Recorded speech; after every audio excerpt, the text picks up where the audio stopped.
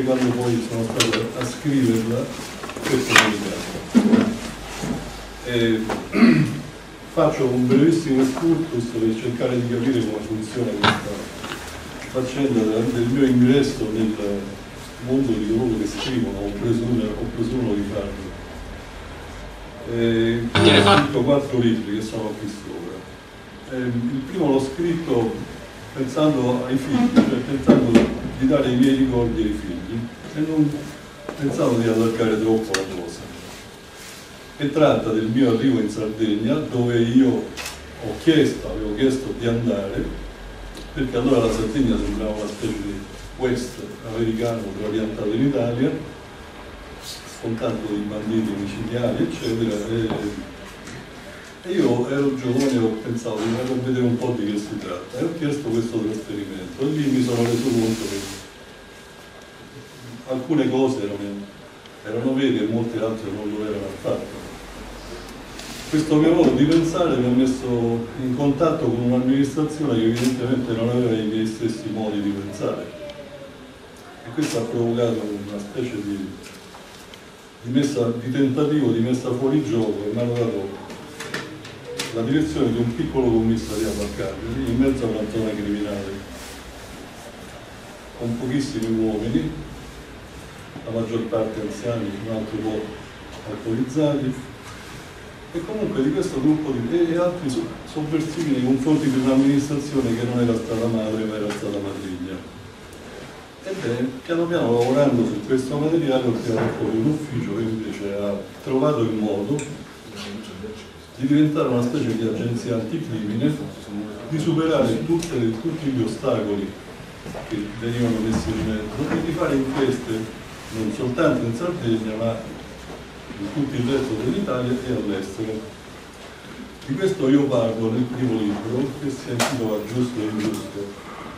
A dimostrazione di questo, il secondo libro dice come noi siamo andati addirittura in Thailandia a fare delle operazioni sul posto, nel triangolo d'oro, dove si produce la droga.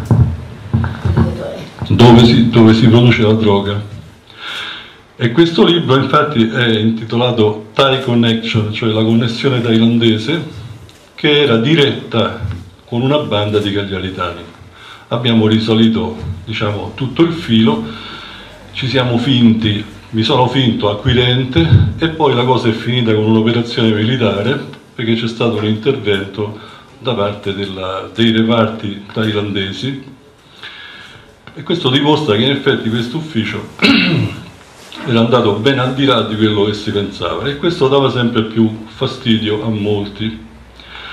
I libri più interessanti però sono il terzo e il quarto, e cioè nel terzo, per un caso abbastanza fortuito, una mia pattuglia aveva trovato una cieca che guidava, cioè era una cieca civile che però aveva pure la patente. Scusate, io ogni tanto indulgo al romano, dopo tanti anni in Sardegna parlo ancora un po' E, ehm, e partendo da questa cosa che era banale, cioè sembrava una cosa banale, sciocca, piccola, in realtà abbiamo messo le mani su una delle radici di cui parlo. Che sono queste radici? Sono la dimostrazione concreta di una struttura che non si conosce, normalmente non si sa, di uno Stato sotto lo Stato, ma uno Stato criminale, cioè organizzato per governare di fatto senza avere nessun consenso né degli elettori né del Parlamento né del, del Presidente del Consiglio di turno.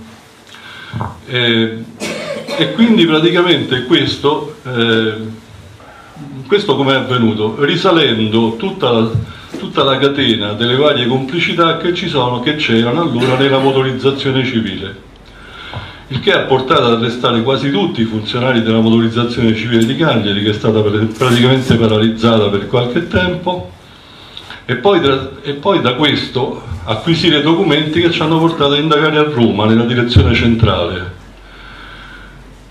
In questa indagine è stato arrestato il capo di gabinetto del ministro dei trasporti ed è stato ottenuto la richiesta dal pubblico ministero di un mandato di cattura nei confronti del cognato del, presidente Andreotti, allora era presidente, ingegner danese, che era evidentemente il vertice di tutta questa organizzazione, di questa, di questa radice, radici analoghe ne abbiamo trovate anche successivamente, anche nella magistratura.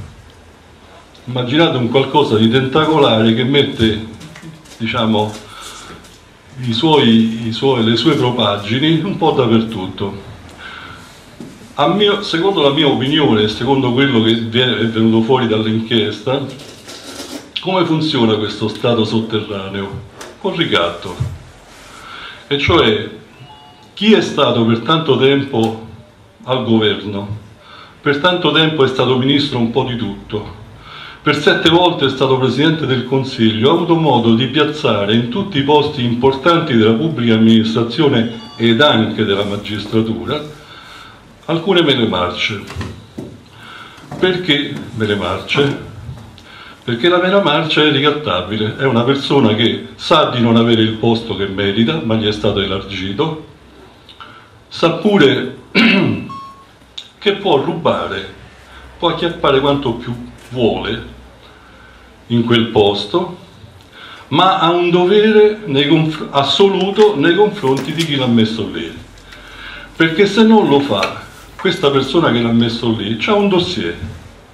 In questo dossier ci sono tanti fascicoli numerati e quando serve qualche cosa in una qualsiasi amministrazione basta prendere un fascicolo e dire tu devi fare così.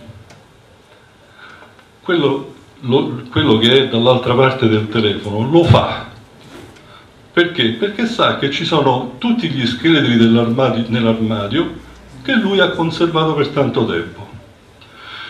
Questo se proiettato in maniera estremamente intelligente, perché noi parliamo di, persona, di una persona che ha un'intelligenza superiore, non solo, ma anche una capacità di controllo dei propri nervi e la previsione di quello che può succedere, presso, succede pressoché assoluta, noi vediamo che è un sistema che può inquinare tutta la vita sociale italiana.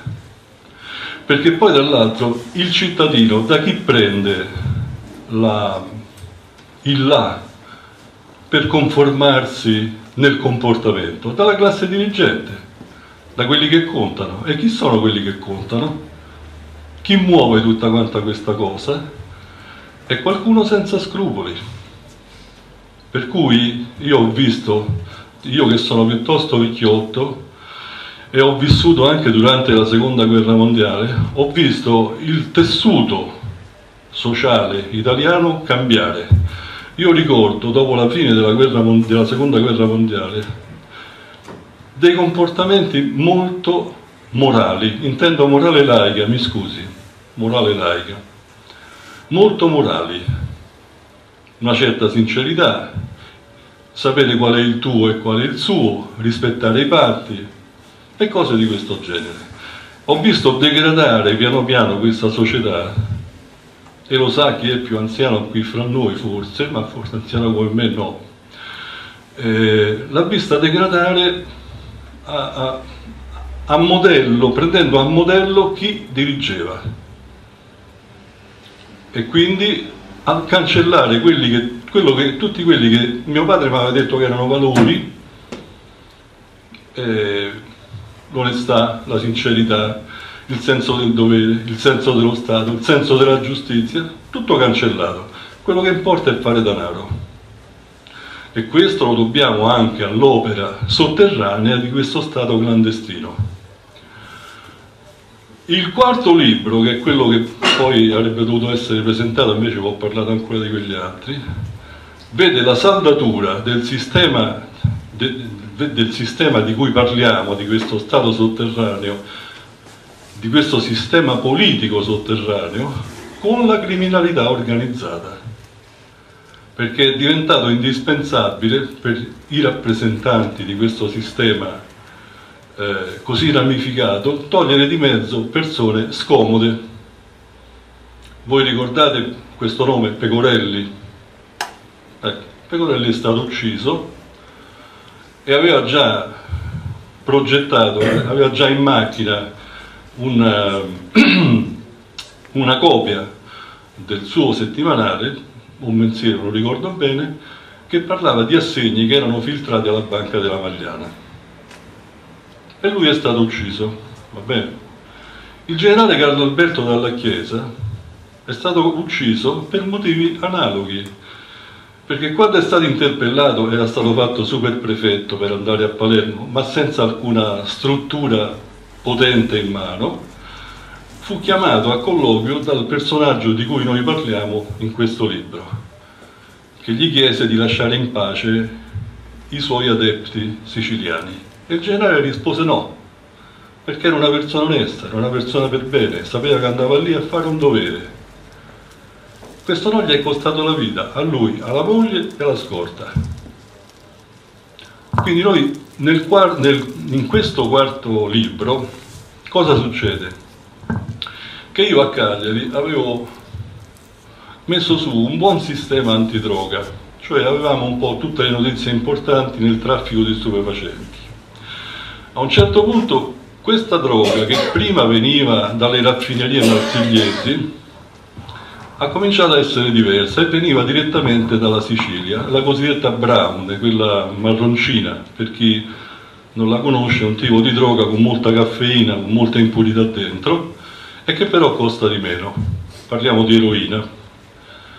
E su questa pista abbiamo prima individuato quelli che a Cagliari erano il caposaldo di questa struttura. Quando abbiamo deciso, però volevamo sapere da dove arrivava e chi controllava e abbiamo messo le, abbiamo messo le mani sul personaggio siciliano che la mafia aveva messo a Cagliari per controllare questo traffico di stupefacenti, quindi responsabile delle consegne e delle riscossioni. Quando abbiamo deciso abbiamo arrestato tutti quanti. E io ho avuto la fortuna di capire che questo personaggio si era troppo abituato a una vita diversa da quella che faceva in Sicilia. Cioè aveva molti soldi, una bella casa, una bella vita, donne, champagne. Per cui stare in carcere per una ventina d'anni, come gli si prospettava, non gli andava per niente. Il che significa che gli ho lanciato un po' un'esca. Se vuoi parlare con me, chiedilo al procuratore, al procuratore della Repubblica questo ci ha riflettuto un po' e alla fine è avvenuto che ma, tramite la magistratura ha chiesto di parlare con me in carcere. E lì è cominciata la, la sua collaborazione in cambio di una libertà provvisoria in attesa di giudizio, cosa del tutto legittima. Cioè, se uno confessa tutto quello che fa se non ci sono necessità istruttorie di altro tipo, è possibile ottenere la libertà provvisoria. E io mi sono fatto garante di questo e in effetti gli è stata concessa. Però tutto questo c'era un accordo fra noi, non è che libertà provvisoria te ne vai dove ti pare, no, libertà provvisoria vieni da noi e cominciamo a registrare tutto quello che tu devi dire, quindi l'abbiamo piazzato in un albergo e abbiamo cominciato a registrare tutto quello che lui diceva ed erano cose di estremo interesse. Ad esempio, noi parlavamo prima soltanto di mafia e lui ha detto guardate, non è mafia, il nome è Cosa Nostra. Quindi la prima volta che è stata chiamata col suo nome, Cosa Nostra, è stata allora. E poi ha fatto delle rivelazioni estremamente importanti per quanto riguarda connessione fra politica e delinquenza organizzata ha fatto anche i nomi di quelli che hanno ucciso materialmente il generale dalla Chiesa e ha dato tutto un cumulo di informazioni che per me, che non ero siciliano, che non, ero, non avevo lavorato ancora in Sicilia, erano tutte cose da accertare, da vedere.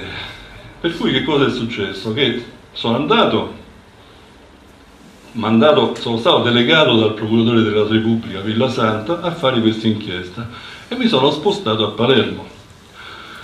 Però a Palermo la situazione era abbastanza complessa, perché se tu sbagliavi a parlare con qualche persona era una cosa molto grave.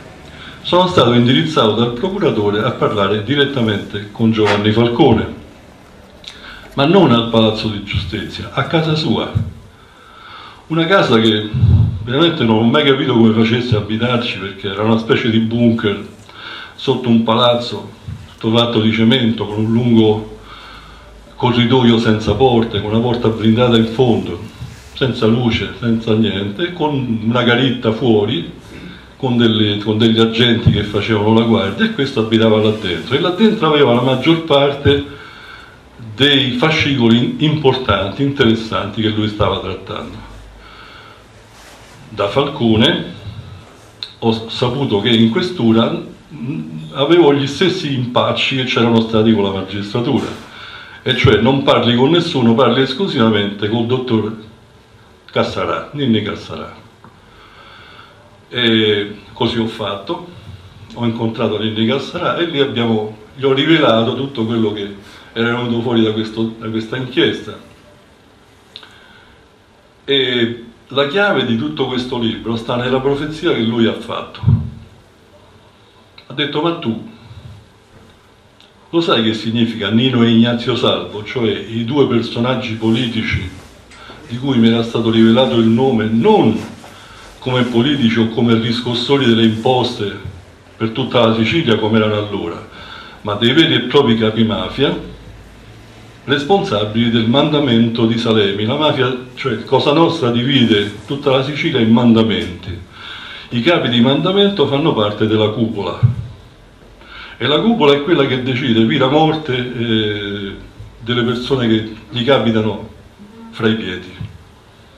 Ora queste persone da, da tutti erano più o meno stimate come politici, connessi alla, alla corrente primavera che faceva capo appunto a Giulio Andreotti e, e invece da parte della mafia erano capi di mandamento.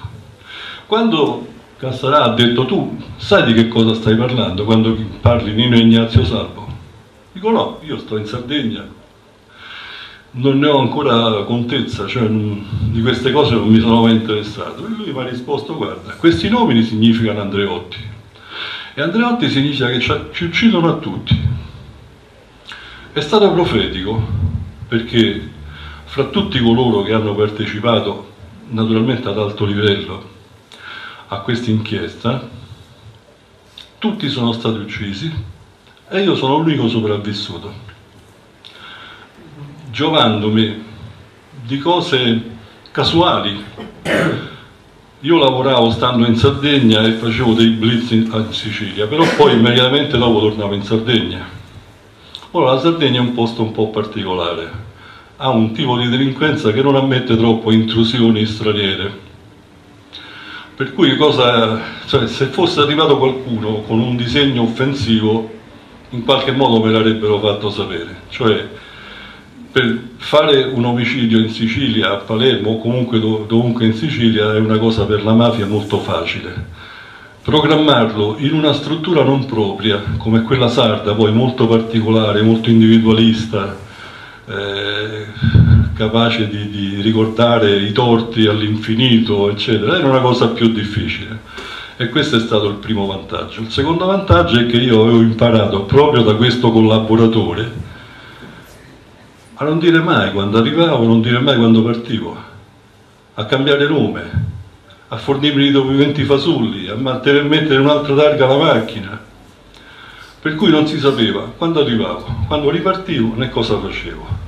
E questo tutto sommato è stata la chiave per cui poi alla fine io mi sono salvato. Non si è salvato Falcone, sapete tutti com'è finita la faccenda di Falcone e non si è salvato Montana, che era un fido collaboratore di, di, di, di tutti coloro, di quelli che lavoravano in questa inchiesta.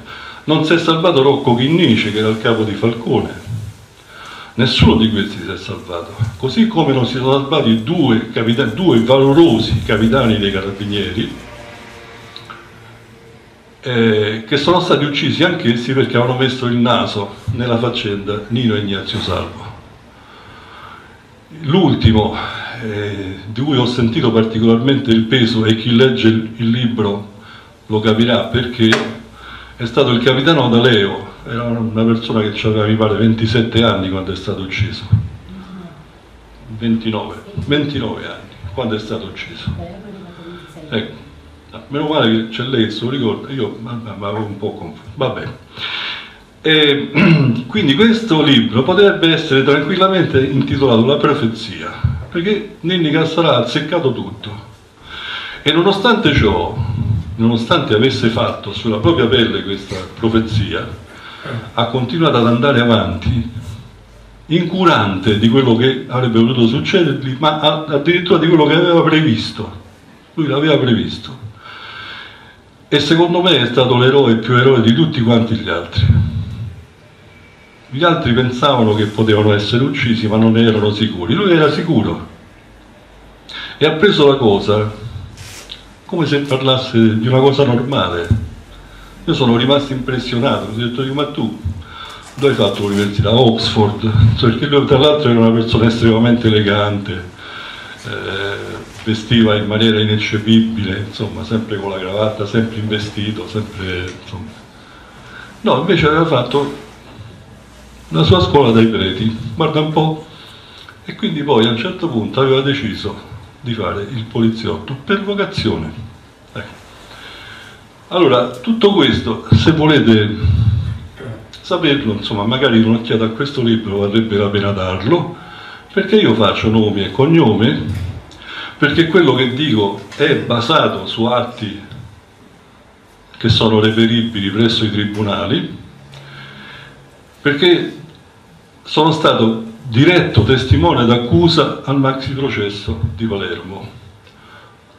C'è ancora, se uno va su internet e vede Radio Radicale, sente la mia voce quando vengo interpellato dal Presidente. Quindi le cose che dico sono accadute, sono vere, i nomi che faccio sono quelli. E forse, dico forse perché l'arte del poliziotto è quella del dubbio, come dicevo alla signora, forse tutto questo mi è costato non avere un editore alcuni editori, molti editori, molto, anche molto importanti, sono interessati di alcuni di questi libri. Ci sono stati viaggi, sono andato avanti e dietro su richiesta di questi editori a Roma, con tanto di aereo, eccetera. Tutto era pronto e poi evidentemente è arrivata la, la telefonata giusta e tutto è fallito. Non si sono più sentiti. Loro diritto, perfetto. Però questo mi ha costretto a stampare questo libro, se volevo farlo leggere, direttamente da me a casa con una stampante laser. Due ore di laser per fare un libro e altre due ore per fare copertina, cose eccetera.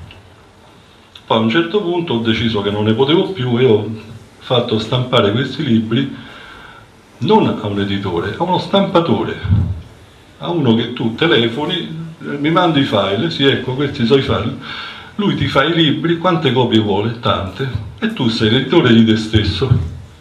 Attraverso questo sistema sono arrivato a comunicare con gente come voi, cioè con gente che vuole sapere la verità su alcune cose.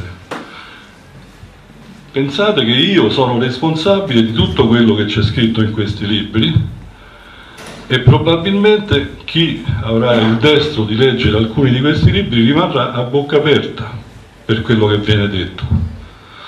Però sono scritte queste cose e guarda caso io non ho ricevuto né querele né proteste, tutti zitti. Questo è quello che devo dire su questi libri. Che cos'è che li lega? E qui veniamo alla signora una specie di filo rosso, una specie di ricerca durata 30 anni, perché io per 30 anni sono stato funzionario di polizia,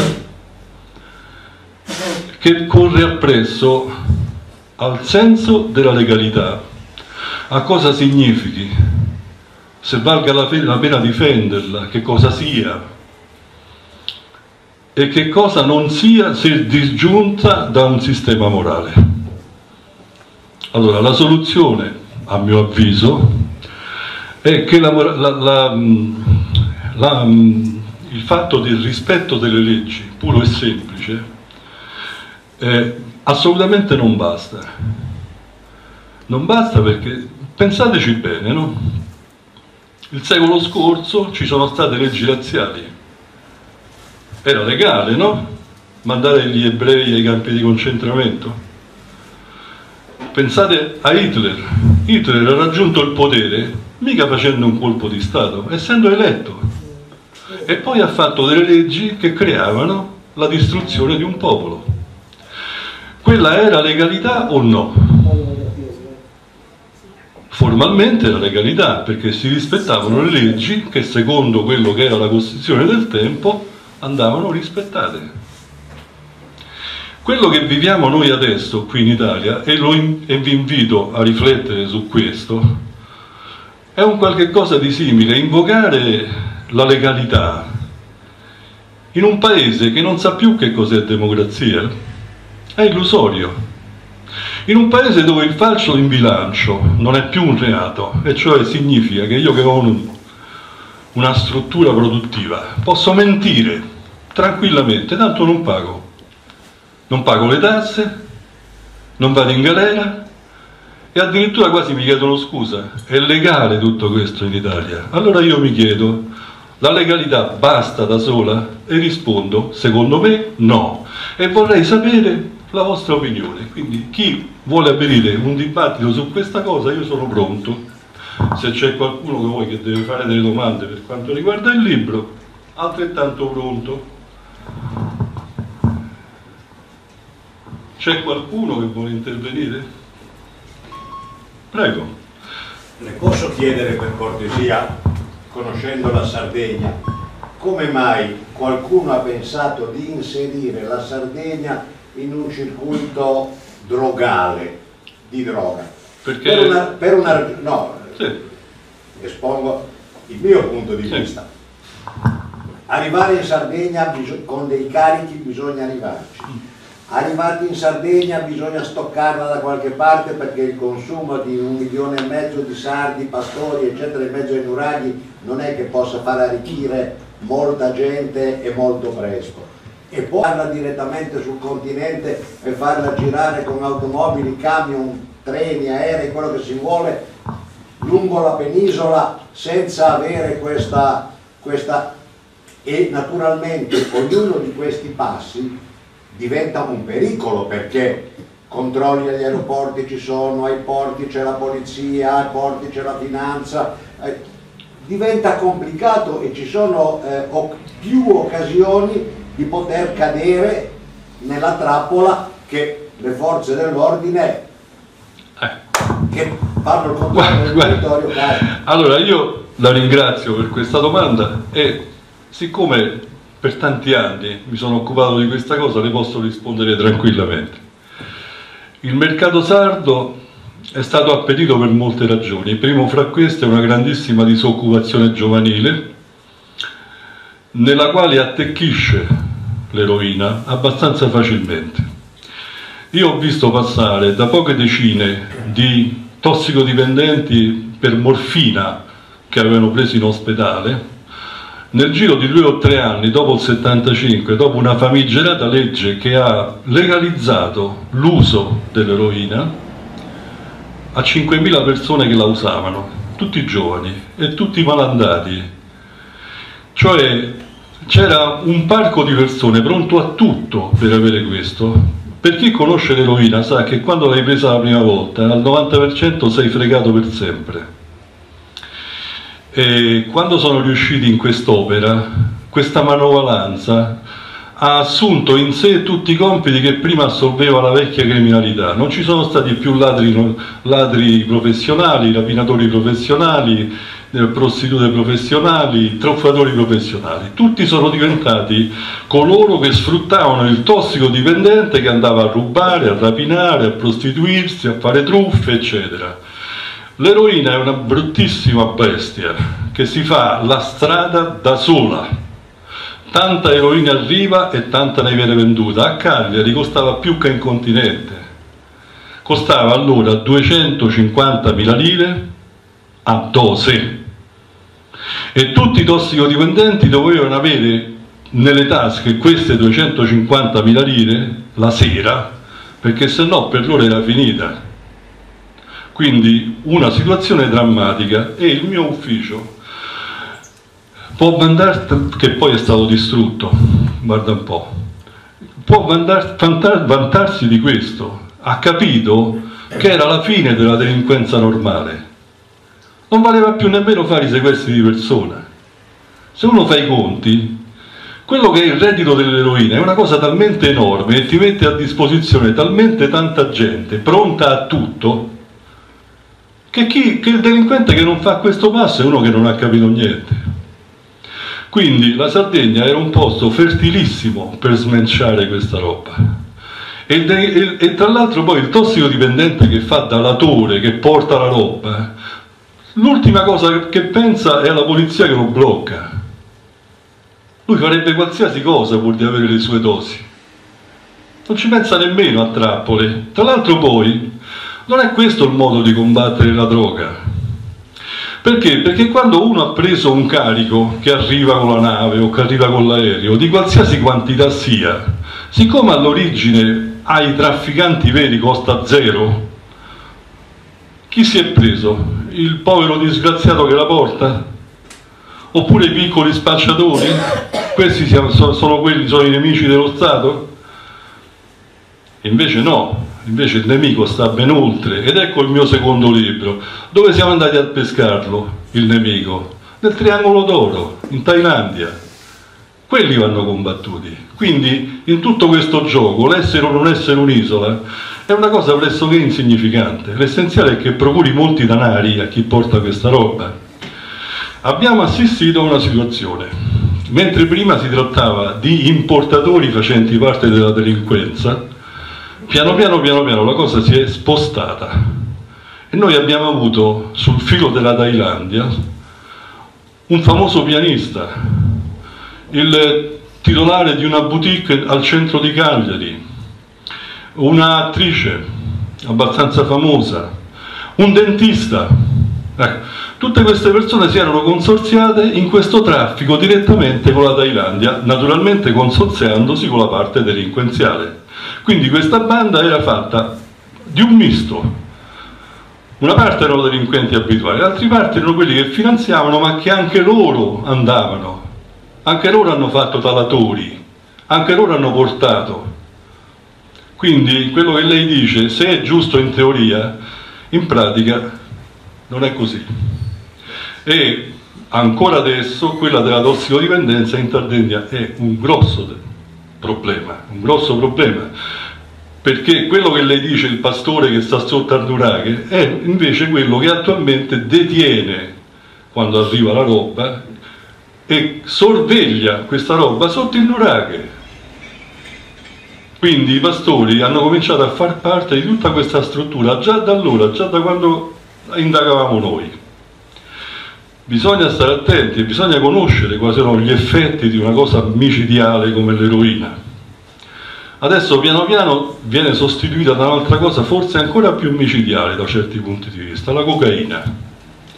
Questo fa della Sardegna un ottimo punto di incontro e di scambio, perché deve sapere che mentre Camorra e Ndrangheta si occupano prevalentemente di cocaina, la mafia si occupa e ha i suoi laboratori prevalentemente di eroina e, indi salve, e in dipendenza da questa, da, dalla richiesta che c'è avvengono in Sardegna scambi perché? Perché la, le, la cocaina arriva dalla Spagna, dal Marocco, Spagna e poi dalla Spagna è facile raggiungere la Sardegna. Per altro verso, da Napoli e dalla Sicilia si porta lo scambio e vengono fatti scambi a due contro uno.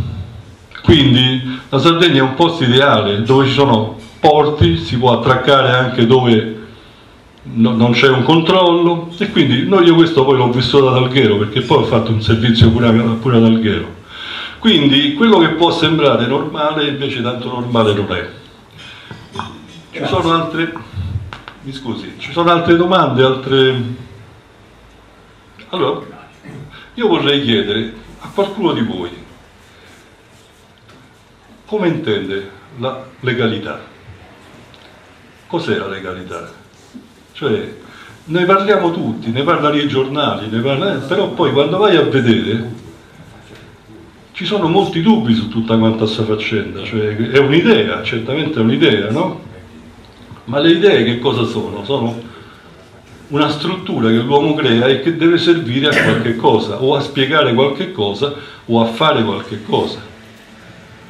Dietro il sistema della legalità c'è la necessità del vivere sociale, senza che uno azzanni l'altro, attraverso un potere centrale che viene rappresentato dal, dal, dal re, dal capotribù, dall'imperatore, da, da, dal presidente del consiglio da, e poi in definitiva dalla stessa polizia. Quello che non quadra è come nasce questa, questa legalità. Noi abbiamo le prime tracce di legalità 3750 anni fa la legalità c'è soltanto quando nasce la scrittura.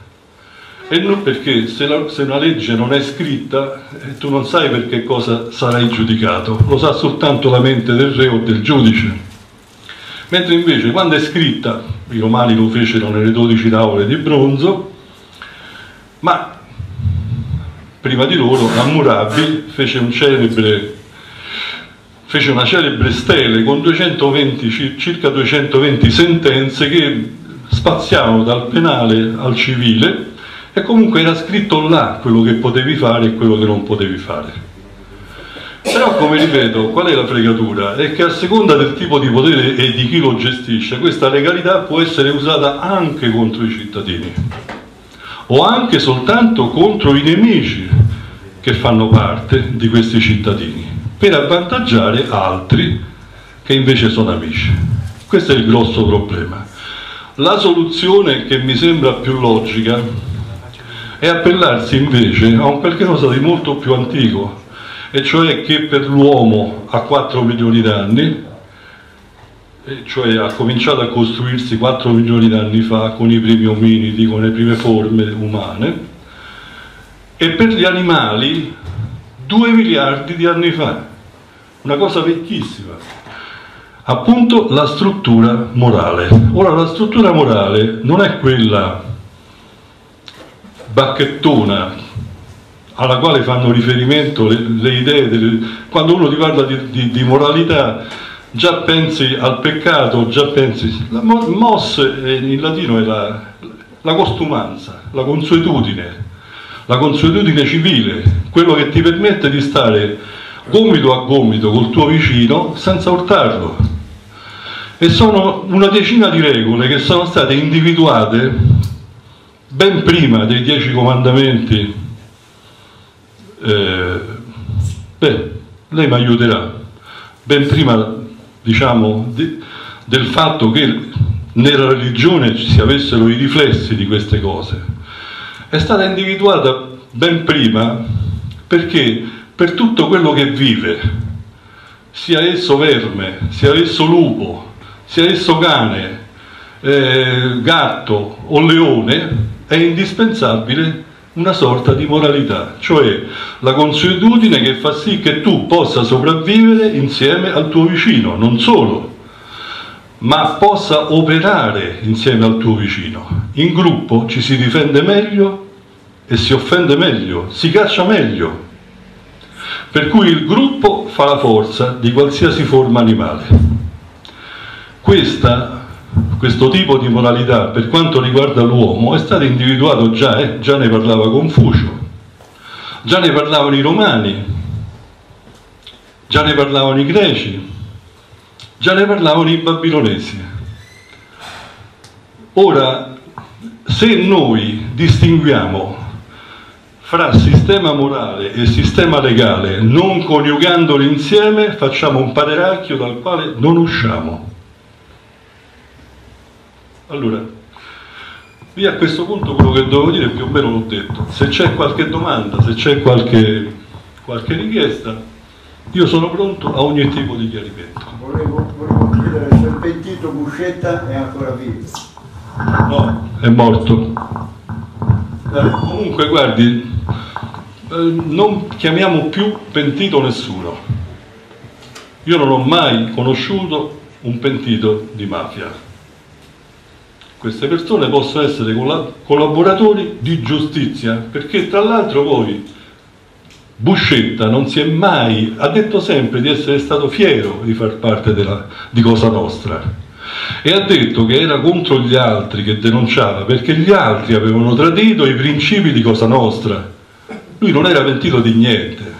Quindi la parola pentito, eh, alla quale fanno riferimento molti giornali, è una parola abusiva, non è vero, nessuno è pentito.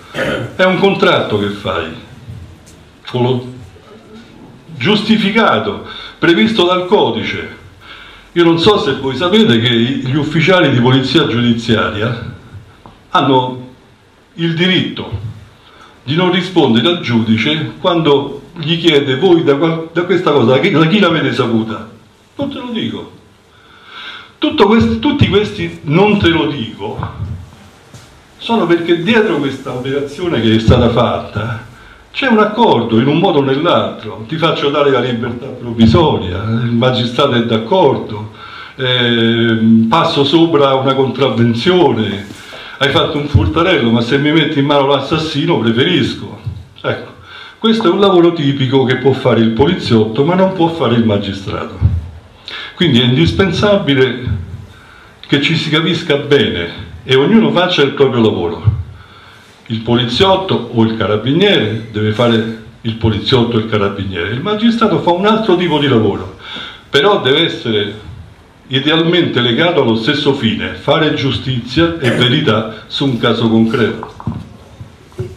Io ho una domanda molto difficile da fare. Se, secondo lei, dalla sua esperienza, cosa può essere successo nella testa di Andreotti per far sì che un uomo come lui casa e chiesa avesse certe frequentazioni e facesse certe cose? Allora, io me la sono fatta questa domanda tante volte e una risposta me la sono data perché ho potuto toccare con mano perché è stato anche alla lontana ma è stato un mio avversario diretto e l'avversario lo pesi sul comportamento che ha Andreotti secondo me è il cervello più fine che ha generato il XX secolo, più acuto, eh, più capace di prevedere gli eventi, di comprendere le persone, di pesarle e di valutarle. Secondo me questa persona si è trovata al principio a fare una scelta.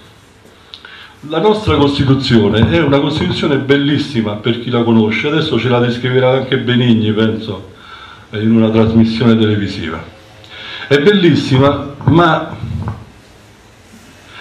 crea, crea moltissime difficoltà nel, in chi governa, in chi può governare. Questo perché? Perché è richiesto da questa Costituzione che chi è Presidente del Consiglio eh, tragga il suo potere, la sua possibilità da una maggioranza che gli dia la fiducia. Io non so chi si ricorda di voi, c'è stato un tempo in cui i governi duravano sei mesi perché bastava che o il partito liberale o il partito repubblicano, ma partitini a volte, no, dicessero no, io non sto più nella coalizione e non si governava più. Era un qualcosa che una personalità acuta come quella di cui parliamo si è resa conto subito. Uno Stato non può essere governato con una Costituzione bellissima che non funziona. Tutto quello che noi costruiamo può essere bello quanto volete, ma deve funzionare. E allora non funzionava. Funzionava male, con accordi sotto banco, con cose che non andavano, con tentativi di leggi tipo quella d'Ambroni, eccetera. Allora, una persona di questo genere che vuole governare perché è nato, perché aspira a fare questo, è per il bene del paese, Cosa può pensare? Io con questo sistema non governerò mai, trovo un altro sistema. E l'altro sistema è questo, metto persone comode al posto giusto. Indipendentemente dal ruolo che io svolgo, potrò manovrarle quando voglio. Questo sembrava l'uovo di Colombo, no? Una cosa addirittura bella per il popolo italiano.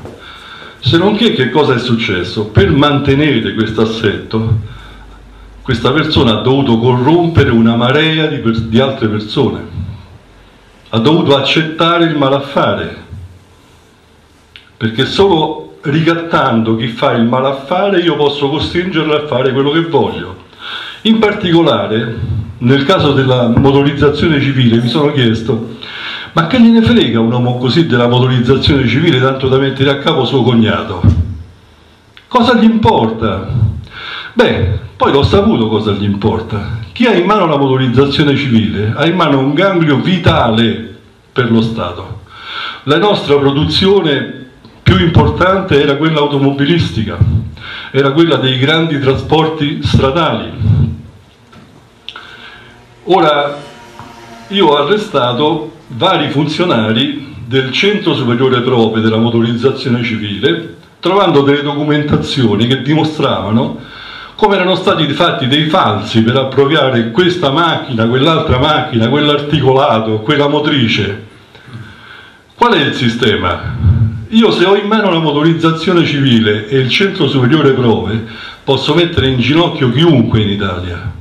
Primo perché la produzione più grande è quella delle macchine, delle vetture e degli articolati e dei camion. Secondo perché qualsiasi industria italiana, qualsiasi, si serve del trasporto stradale all'80%, quindi ha dei grossi mezzi, dei grossi articolati, chiamati anche bisarche, credo, sì, bisarche, che debbono però passare un collaudo tutti gli anni. Allora, se io voglio bloccare la Pirelli perché non fa quello che dico, io gli blocco le bisarche, gli voglio i mezzi. Perché? Perché la motorizzazione Pinco Pallino troverà quando va a fare il collaudo che c'è una vite che non quadra, che c'è un freno che non frena abbastanza, che c'è un, un, uno stop che non va bene, per cui tornate, tornate il mese prossimo e così via.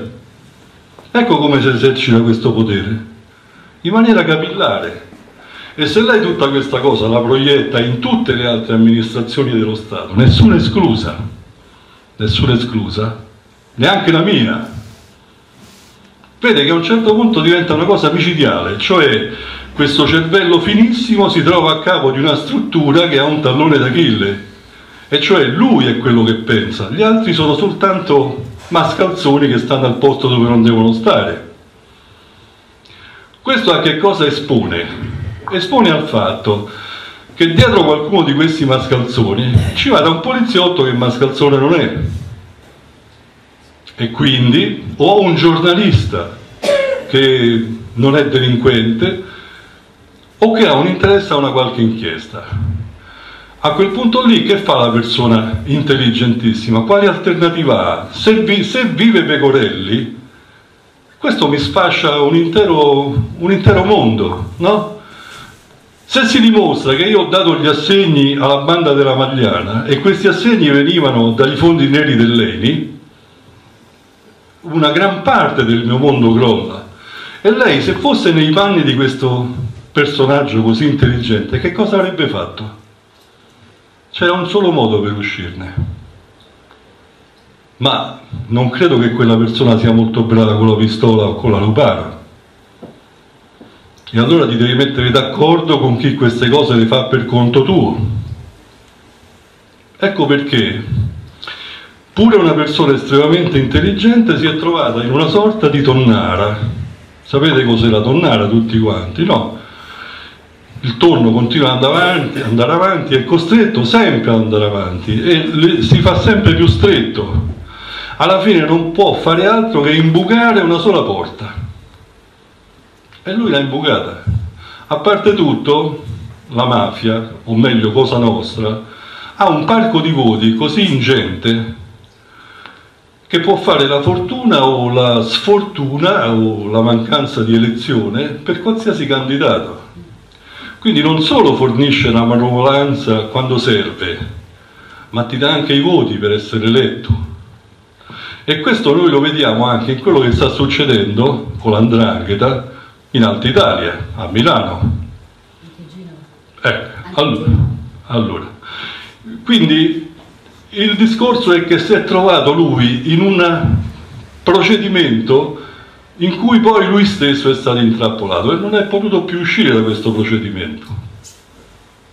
È stato processato. Tutti voi pensate che è stato assolto? Chi è che pensa che è stato condannato? Possa vedere una mano? È stato prescritto, no? Ecco, allora. Bene, sappiate tutti quanti che Giulio Andreotti è stato condannato, ma non è stato possibile applicargli una pena perché erano passati vent'anni da quattro mesi, da quattro soli mesi, per scattare, per far scattare la prescrizione. Questo istituto tipicamente italiano che veramente in tante altre parti del mondo non trovo uguale, perlomeno nei termini. Io sarei dell'opinione che la prescrizione va bene quando non c'è un processo in corso, cioè a me non mi beccano, ho fatto un omicidio, dopo vent'anni nessuno mi ha processato e vabbè, chiudiamo tutto. Ma se dopo dieci anni, dopo due anni, dopo tre anni io vengo processato e rinviato a giudizio, è del tutto illogico far proseguire questa prescrizione per arrivare al fatto che la difesa continua a taccheggiare, questo non viene, quell'altro non è stato convocato, quella cosa è nata, e si arriva ai vent'anni. Con questo sistema chi ha buoni avvocati non paga mai. E questo è un altro dei difetti grossi di una idea e di una struttura che non funziona. Il codice di procedura penale unitamente al codice penale, ormai sono uno strumento che va rottamato, questo sì, va buttato. Che fate voi di un martello al quale si è rotto il manico e non batte più? Ne comprate un altro, lo sostituite, lo buttate perché la funzione del martello è quella di battere approfittando della gravitazione universale. Se non lo fa più, non serve più il nostro sistema penale, il nostro sistema di procedura penale non serve più. Chi di voi si aspetta giustizia non ha capito in che situazione siamo, non lo ha capito. Io personalmente ho avuto un'esperienza allucinante. Avevo una piccola mansarda quando ero a Cagliari, poi sono, mi sono trasferito ad Alghero e ho affittato questa piccola mansarda a una persona che sembrava per bene, sembrava, questo non ha mai pagato. Io ho fatto un procedimento civile, ne sapevo di penale, di civile, insomma ricordavo quello che si diceva all'università. Beh, per uno che non paga, non ha mai pagato, non solo ho dovuto aspettare quattro anni per lo sfratto, ma poi mi sono arrivati, mi è arrivata un'ingiunzione per pagare quello che non avevo percepito, cioè il fitto che questo non aveva pagato. Non so se mi sono spiegato. Allora, questa è una piccolissima cosa personale. Se voi si aspetta, se qualcuno di voi si aspetta giustizia da questo sistema, si è sbagliato. Io la giustizia che conosco, quella veloce, la più veloce, è quella che fa la polizia quando ferma qualcuno che ti sta tagliando la gola o i carabinieri quella è una cosa immediata. Lo fermo, lo ammanetto e lo metto in carcere. Quella, quella è l'unica giustizia che voi potete aspettarvi. Il resto sono pure illusioni. E ve lo dice chi ha difeso questo sistema per 30 anni. E chiedo una piccola conferma pure al maresciallo. Eh? Beh, mi sbaglio maresciallo? Ecco. Quindi questo è un sistema che va bene soltanto per chi ha bravi, bravi avvocati lui è una pacchia, perché uno allunga la cosa e va a finire alla prescrizione, sempre, sempre. E invece chi è che è colpito? Il miserabile, il ladretto, quello che ha, che ha preso qualche centinaio di euro, di, di euro dove li ha trovati nella tasca di qualcuno, quello viene condannato, non ha un buon avvocato e che non potrà mai aspirare alla prescrizione, no? Allora, se per voi, ecco perché io parlo di giusto e ingiusto, ci sono molti errori che vengono fatti dietro queste due parole. Voi vi aspettate giustizia da questo sistema? Siete degli illusi. Scusate, eh? Prego. Una domanda. Eh, I fatti eh, di cui si parla riguardanti Giulio Andreotti sono comunque fatti avvenuti eh, un po' di anni fa quando non c'era ancora l'avvento di internet eh, e quant'altro. Ora, se tanti anni fa, o comunque nel periodo passato, si è riuscito a tenere sotto controllo gli organi di informazione in qualche maniera, secondo lei dovessero quei fatti, ammesso che si possono contestualizzare in questo periodo, dovessero essere accaduti adesso, con l'era di internet, comunque con l'informazione più libera rispetto a quella di prima, le cose sarebbero andate come sono andate anni fa o eh, la gente saprebbe più, quindi si, potrebbe, si sarebbe potuto cambiare qualcosa? Mm. È bella domanda. Allora, eh, certo non c'era internet allora, però le dico questo, lei parla di informazione, no? Quando arrestai l'ingegner Basili, capo di gabinetto del ministro, accanto alla stanza del ministro, fece un comunicato stampa, come si fa sempre quando tu arresti qualcuno, perché è legittimo che la gente sappia che la polizia ha arrestato qualcuno. Il giorno appresso non c'era nessuna notizia, né nei giornali di destra, né in quelli di centro, né in quelli di sinistra. E quando io sono andato a chiedere all'opposizione, e cioè a gente che, a giornalisti dell'Espresso, ho un nome in mente ma è inutile che lo faccio, mi sono sentito rispondere che non era il momento politicamente adatto per dire che un capo di gabinetto di un ministro era stato arrestato. Allora, da chi ci aspettiamo queste notizie? Da un pinco pallino che scrive una cosa su internet? Non lo so. Voi di quello che ho detto, quante cose sapevate fino a stasera? Abbastanza poche. Quindi adesso non c'è coscienza di quello che è successo allora, però sussiste lo stesso impero criminale. E, le, e quello che noi vediamo che succede oggi in Italia è il frutto di quelle radici. Perché tanti personaggi che sembrano illustri, che diventano presidenti del Consiglio e c'hanno qua e c'hanno là, traggono la loro linfa proprio da queste storie, da questo tipo di impero. Spesso dal loro comportamento possono sembrare dei burattini o degli scemetti. Io se ci avessi un sacco di soldi, per esempio, se dovessi scegliere prenderei una bellissima ragazza e me ne andrei alle Bahamas e buonanotte. Questa mi sembra la cosa più logica senza, senza andare a, a fare delle sciocchezze come noi abbiamo visto fare. Io certamente non direi oggi una cosa per tradirla domani sarei un cretino allora mi chiedo ma come mai una persona che fa queste cose arriva da tanto in alto? tramite chi? per conto di chi? E per conto di chi è crollata? Eh, fatevi questa domanda. C'è un qualcosa di sotterraneo che agisce e che dà ordini sulla base della possibilità di ricatto. E questa, queste, questa possibilità esiste, guarda un po', anche per alcune strutture della Chiesa. Parlo dello IOR. Mi scusi e cioè l'istituto che comprovatamente, e ci sono dei libri scritti, è stato l'anello di congiunzione di cui quel personaggio è stato al centro, fra gli enormi profitti che venivano tra dai traffici illeciti, in particolare quello di droga, e la necessità di cambiare questi denari in denari puliti. Va bene?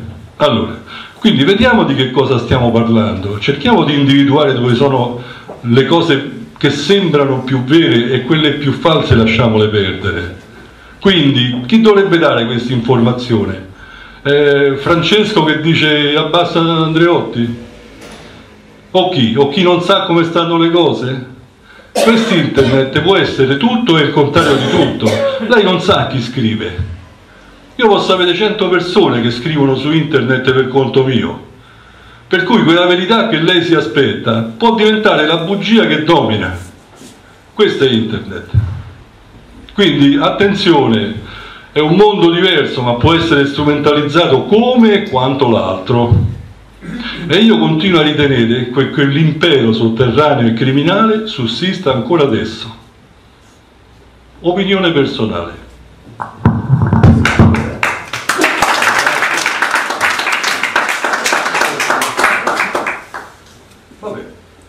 tre cose velocissime. Fin dagli anni 90 Stato mafia erano collusi. Adesso eh, dov'è, dov'è più il confine tra eh, Stato e mafia politici e, e, e mafia? Guardi, cosa, scusi, le, le, le, le faccio così. Eh, l'altro confine, eh, la mafia prima si occupava di, eh, tossico, di, di drogati, di droga, mm. di prostituzione. Quando si è spostato verso, verso la finanza? Eh, allora, eh, c'è il quinto libro che sto scrivendo e che eh, diciamo, ho dovuto lasciare a metà perché finalmente ho trovato un editore che si è interessato al come io scrivo e però vuole dei racconti, non vuole libri diciamo, abbastanza lunghi in cui si sostiene eh, con dati di fatto come si è fatta una certa indagine, vuole molto più semplicemente dei caratteri delinquenziali, criminali o anche politici che io ho incontrato nella mia carriera nel mio lavoro e fare di questi una serie di una trentina di racconti. E io approfitto di questa cosa, ho mollato quel libro e ho cominciato a fare racconti. Però il quinto libro parla della criminalità di cui parla lei cioè la mafia ha trovato la mafia, Cosa Nostra, la Ndrangheta, la Camorra hanno trovato un sistema eh, di investire questi eh, questa enorme quantità di denaro una volta che è diventata pulita. Cioè io ho una massa, dunque noi stimavamo 150 mila miliardi all'anno nel 1982, più o meno, 82-83, il provento del traffico di stupefacenti di Cosa Nostra.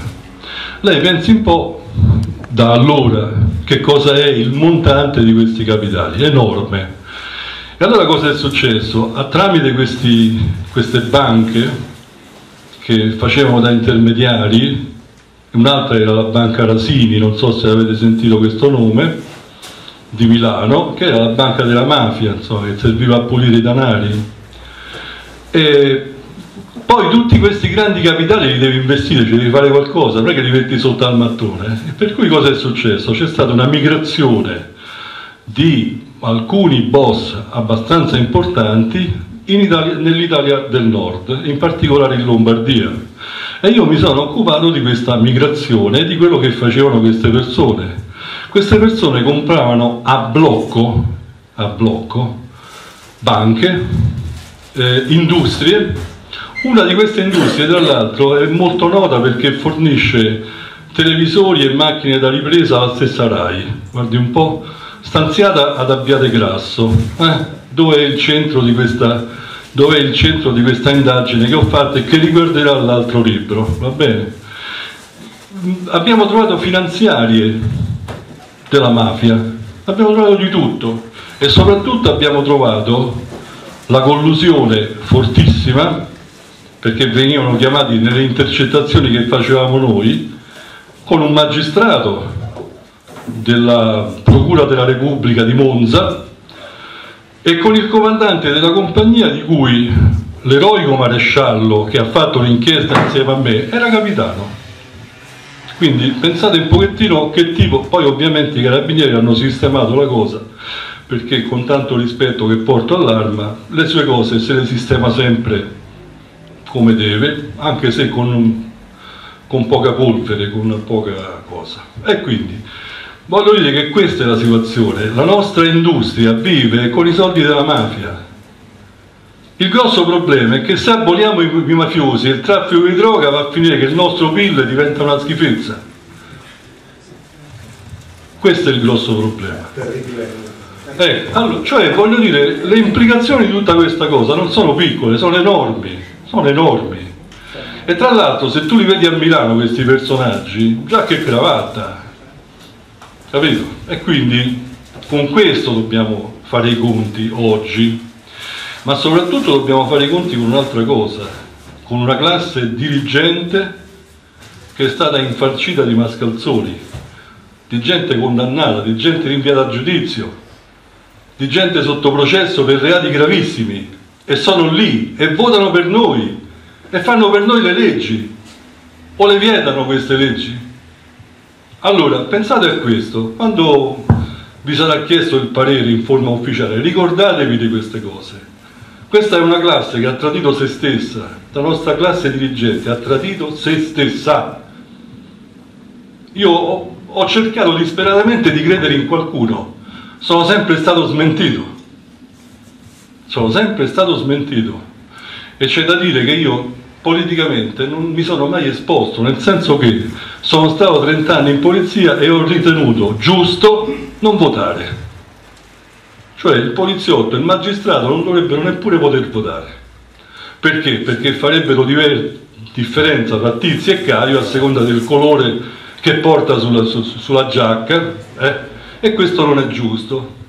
Poliziotto è tale e quale, o il carabiniere è tale e quale, chiunque tu sia, per cui deve essere avulso dall'agone politico. Qui è il contrario, i poliziotti li tiriamo fuori, vabbè, non tutti. E, e, e che facciamo? Facciamo entrare dentro i delinquenti. Io credo che tutti quanti noi siamo chiamati a una grossa sollevazione morale. Questi se ne devono andare a casa tutti. Forse pure Grillo. Ah, per dire. Eh? Perché quando uno comincia a mettere becco nella politica e accetta quel gioco, è già perduto con questo sistema. Quello che c'è da dire è che invito chiunque a guardare dentro se stesso e a chiedere ma io faccio veramente quello che dovrei fare moralmente parlando e non parlo della morale della Chiesa, parlo della morale laica, rispetta la parola, rispetta i patti, non mentire, non testimoniare il falso, non fare agli altri quello che non vuoi che gli altri fare, face, fanno, faranno a te, farebbero a te. Questo lo dice Confucio. Confucio è un personaggio che è nato 500 anni prima di Cristo eh, allora, ricordiamoci di questa cosa, senza moralità laica non c'è legalità e quindi spazzolare tutti quanti quelli che cercano di illudere il prossimo. Scusate, grazie di tutto.